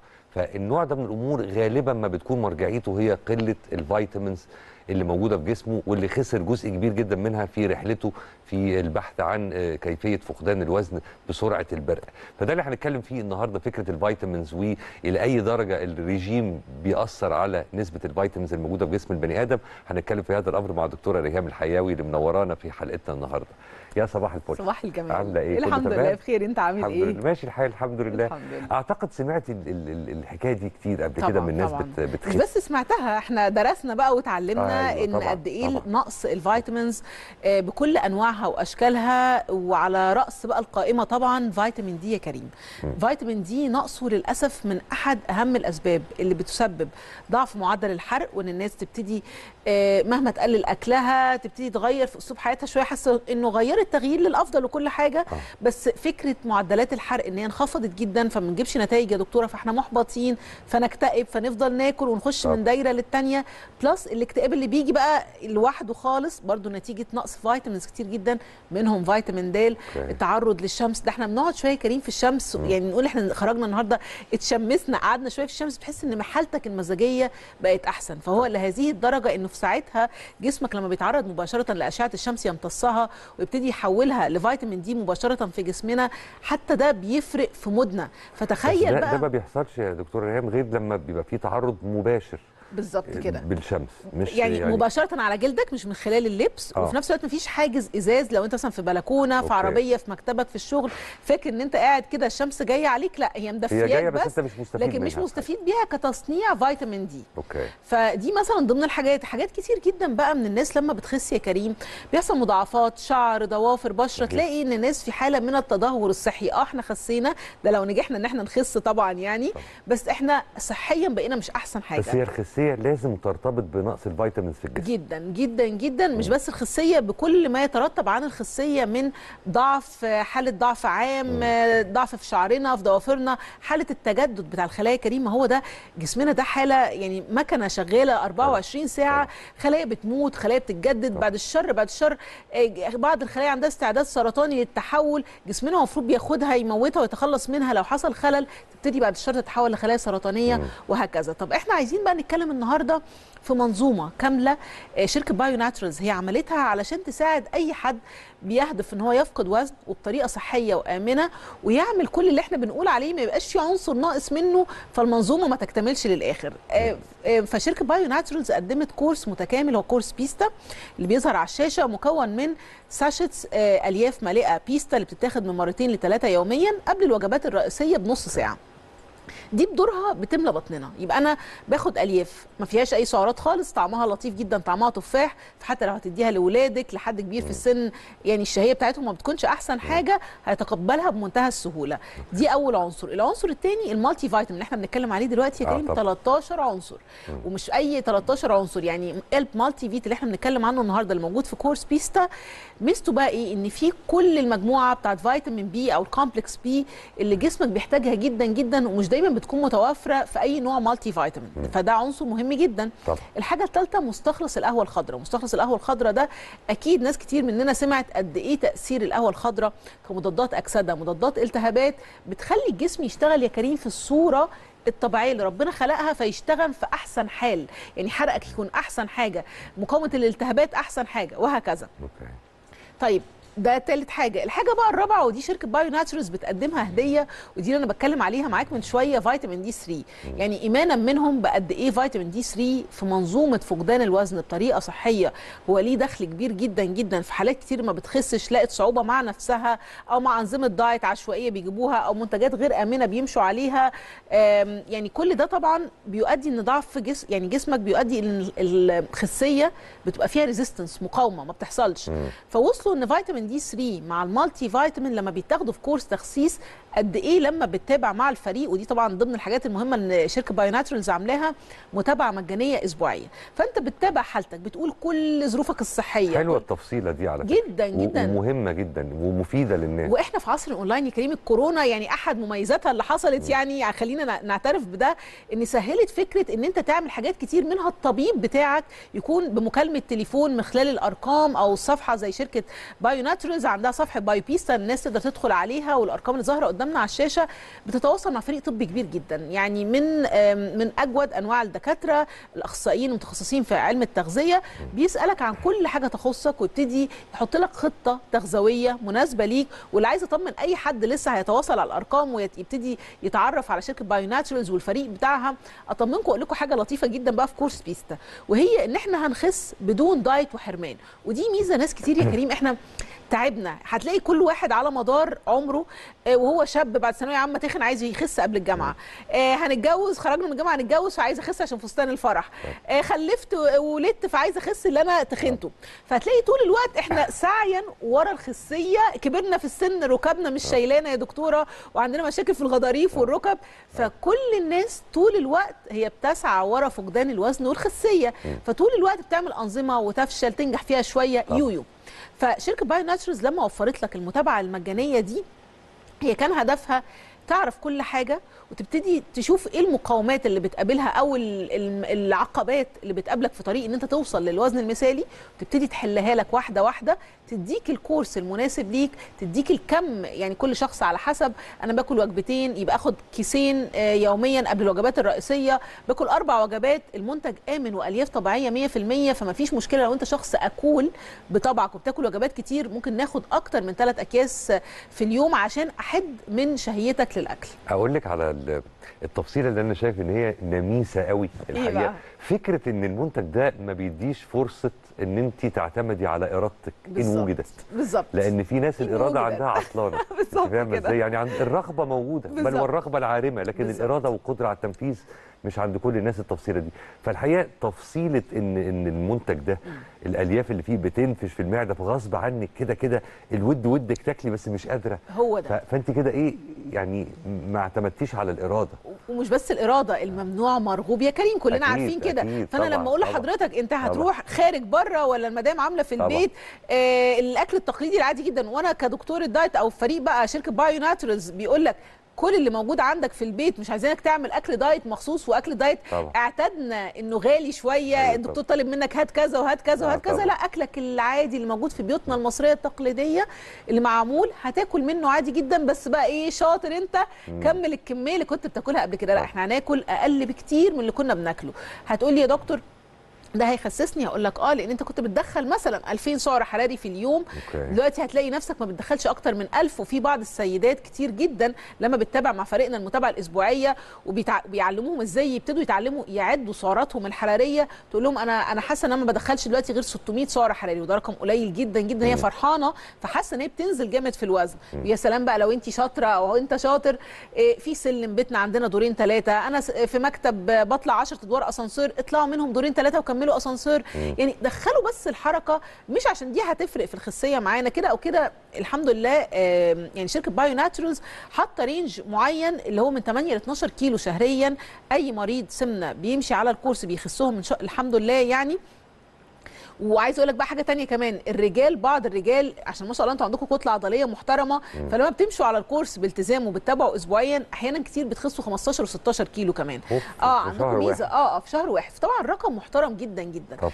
هو ال course هيخسسه هو. واحترامه يزيد لو لو ده متحقق بصحة زي ما كنا هو ده اللي أنا بقى. بقوله. هو ده اللي أنا بقوله. أنت هتخس هتخس. أنا ك ك- يعني أنا كمنتج بقدمه لك آه، طبيعي 100% مرخص وزارة صحة. عندي فريق كبير متابع معاك مدياك ال vitamins اللي جسمك محتاجها عشان لما تخس تبقى تمام وزي الفل شعرك ضوافرك صحتك قدرتك على الحركة المفاصل الكالسيوم كل ده هيكون متظبط وتمام. بس اللي إحنا بنحاول نقوله دايما وانتوا بتغيروا شكل حياتكم وبتخسوا من خلال المنتج اللي إحنا بناخده ابتديتوا تفقدوا 20 كيلو 30 كيلو فجسمكم بقى خفيف ابتدوا اعملوا بقى بعض العادات اللي كان تقل الجسم عامل عائق فيها. تبتدي تتحركي بتروحي تمرين لأولادك بدل ما تقعدي على ترابيزة تشربي في البرد سحلب وكاكاو. والحاجات اللي إحنا عارفينها دي. تبتدي تتحركي في track في نادي تطلعي سلم حاجات بس بسيطة نغير أسلوب حياتنا. اللي خد بيستا ونزل يعني القدر اللي هو عايز ينزله أيوة. نزل الوزن اللي هو كان بيحلم بيه وخلاص وصل للوزن اللي بالنسبة له هو مثالي تمام هل يوقف خالص ال- ال- ال- ال- إن هو ياخد بيستا ولا بالتدريج ولا الحكاية بتمشي إزاي هقول لك بقى على حاجة حلوة قوي قوي شركة Bio Naturals عاملاها بجد وأنا مم. سعيدة بيها إن أي حد هيمشي على الكورس ويوصل للهدف بتاعه معانا. مرحلة التثبيت دي برضو بتكون متابعة مجانية معانا. طبعا معدل الكورس بيكون أقل بكتير. الفريق هو اللي بيتفق مع الشخص أو المريض هنعمل إيه بالظبط سواء هناخد من الكورس حاجات معينة سواء هناخده بس بكميات أقل سواء هيمشيه على نظام غذائي هيديله إرشادات ويتابع معاه لمدة ست شهور كاملين. وده يا جماعة حاجة مش سهلة إن أنت تلاقي بعد ما توصل طبعاً، لهدفك طبعاً. رقيب واقف في ظهرك لمدة ست شهور اللي هو أكتر أهم وقت محتاج حد معاك يدعمك علشان اللي انت خسرته ده تفضل مثبته وهو ده اللي هيخليك تكمل بالخسارة دي على طول. طيب تعالوا بقى نشوف آية حصل معاها إيه آية كانت بتعاني من السمنة في وقت من الأوقات وتعاملت مع هذا المنتج وكانت دي النتيجة. تابعوا معانا.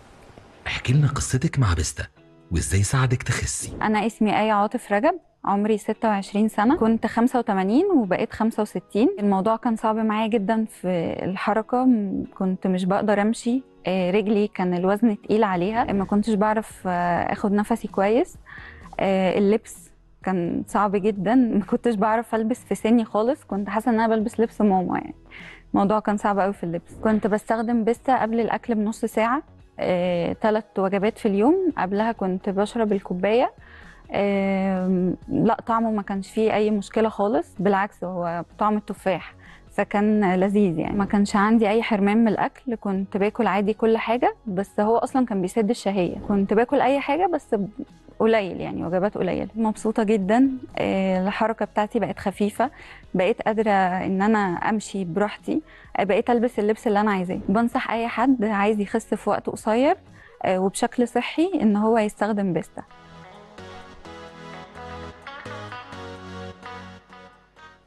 طيب دي كانت آه، حالة أو تجربة آية. تعالي بقى نروح يا دكتورة ريهام بعد إذنك لمجموعة الأسئلة اللي جات لنا من خلال ال social media. منهم سؤال من نهى محمد بتقول أنا بعاني من السمنة ودايما لما بعمل diet ما بقدرش أكمل لأن شعري بيقع بكثافة وضوافري بتتكسر باستمرار.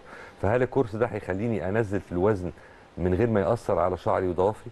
طيب بصي بقى يا نهى يعني اولا أنا بضمنك إن انت تخسي بطريقة آمنة لأن زي ما قلت ال course هو كله طبيعي 100% هو مكمل غذائي ليس بدواء. ودي ميزة برضو حاجة مهمة جدا إن أنا مش بدخل حاجة تضرني. أنا الدكتور الشاطر أو الفريق الشاطر المتكامل اولا يبقى فريق متكامل. بن كلنا بنحل المشاكل المترتبة عن السمنة. دي حاجة. مش بس كده إن أنت تخلي الشخص ده لما يوصل للنتيجة اللي هو عايزها يوصل وهو راضي عنها. ودي الحمد لله الحاجة اللي دايما فريقنا لما بيتواصل معاه المتابعين اللي ماشيين على الكورس بنلاقي رضا عن النتيجة. أنا مش بس خسيت أنا حاسة إن شعري أفضل لأن هم ما كانوش متعودين يمشوا على فيتامينات بهذا الالتزام. خلي بالك يا كريم الفيتامينات ضرورية جدا جدا جدا مش رفاهية. زي ما ناس فاكرة إن أنا بعمل حاجة إضافية لصحتي لا هي مش إضافية. أنت محتاجها عشان تجديد شعرك عشان ال baby hair اللي بيطلع عندك الشعر تساقط يطلع مكانه. ضوافرك اللي بتطول دي وما يطلعش فيها البقع النقط البيضاء ونقص ال vitamins اللي بيكون موجود عند بنات كتير شكوى يعني دايما بتكون باستمرار. لا هتلاقي كل ده حصل فيه تحسن مش بس ما تضرش من الخسيه أنت حاسة إن في حالة من الانتعاش. جسمك كلها فيها pulse ال energy والطاقة ودي بقى ضمن الحاجات اللي أي حد بيخس وبيمشي على ورق ال diet. عنده مشكلة أنا ما عنديش power أنا ماشي على رجيم ومش. قادر. أنا مش نازل النهارده لأني بضعف كده عام. ضعف وهن عام إمساك مزمن. شكاوى كتير جدا. نتيجة ال diet الحمد لله مع فريقنا بنلاقي النتيجة العكسية إن أنا ما عنديش إمساك مزمن. نتيجة إيه؟ إن أنت بتتكلم عن منتج بيستا العنصر الأول فيه وهو أكياس الألياف المالئة هو شوفان ردة قمح قشور psyllium كلها حاجات يا كريم بتخلي حلق حركة الأمعاء very smooth ماشية بمنتهى السلاسة.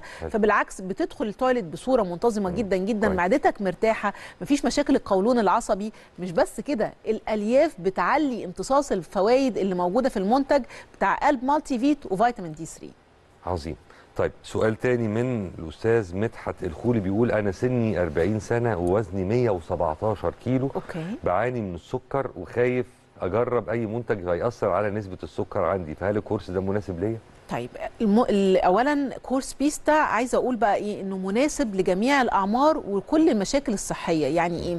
أي شخص عنده أي مرض مزمن سواء مرتبط بالسمنة أو لأ وعايزين نتفق مع بعض إن ثلاث أرباع يعني الأمراض المزمنة سكر كوليسترول آه،. مشاكل في الكبد دهني كل المشاكل دي يا كريم حلها الأول فقدان الوزن تخيل بقى.